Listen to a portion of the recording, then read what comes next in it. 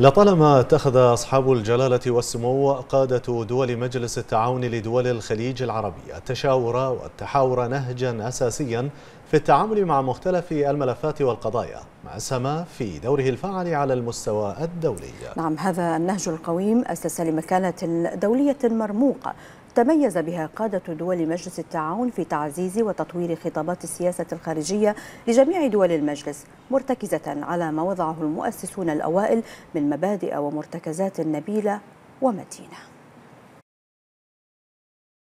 استمرار نجاح مجلس التعاون لدول الخليج العربية ككيان متجانس ومترابط على مدى عقود طويلة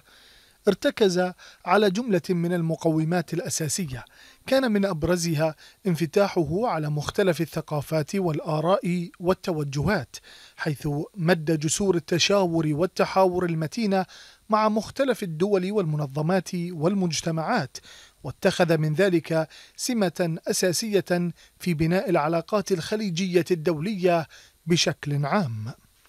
هذا النهج الفريد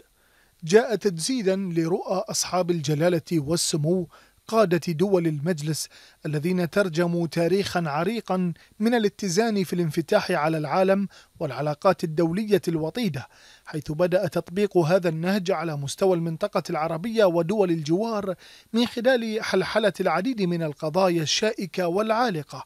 وإيجاد الحلول الاستراتيجية لمختلف التحديات السياسية والاقتصادية والأمنية ثم انتقل إلى التحاور والتشاور والمشاركة مع مختلف أقطاب العالم السياسية والاقتصادية والفكرية حتى بات العالم من شرقه إلى غربه ينظر إلى كل ما يصدر عن دول مجلس التعاون من أفكار وآراء وتوجهات على أنها نهج جاد يحمل الخير في كل اتجاهاته.